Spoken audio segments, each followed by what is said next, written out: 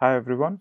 In this video, I'm going to show you how to perform escape analysis in Go to check the heap allocation of a program. So what is heap allocation? So when we have a program, we normally create variables and these variables can be placed in a stack or on a heap. So the main difference it brings is the performance. So if a variable is placed at a stack, then it won't affect the performance that much, but if it is placed on a heap then it might significantly affect the performance of the program. So sometimes it is useful to perform escape analysis to check which of your variables are escaping to heap which means if they are getting created in a heap and if it is possible to avoid that so that you can improve your performance. So first I'm going to show you how to actually do it and then I will go in more details. So here we have a main program where the main is basically calling two different functions. So the first function is square. So it's basically squaring a value and then printing. And the second function is simply what is it doing is it is creating a number. Then it is returning the pointer to that number.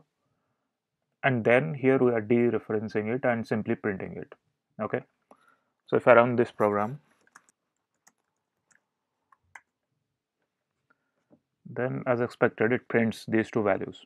Okay? Now I have written this program and I want to check its efficiency and to see how the variables are allocated. Then I can do uh, the escape analysis. And I can do that by this command.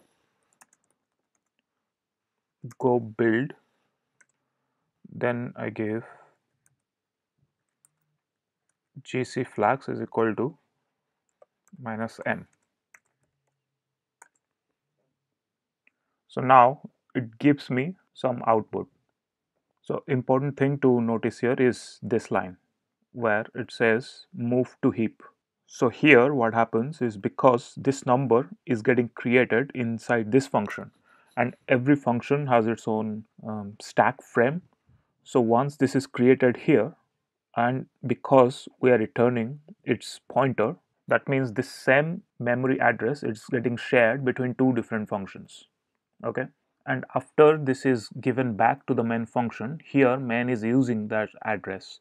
So that's why it is important to place this number outside of the stack. So the compiler will create this on the heap. And this is basically what is written here. Okay. The other information may not be that useful but it can give some suggestions about what you can do with your program. For example in the 12th line so the function square is simply doing one a one line thing. So this we might as well replace this with x times x in this line only. So that's what this can inline square means.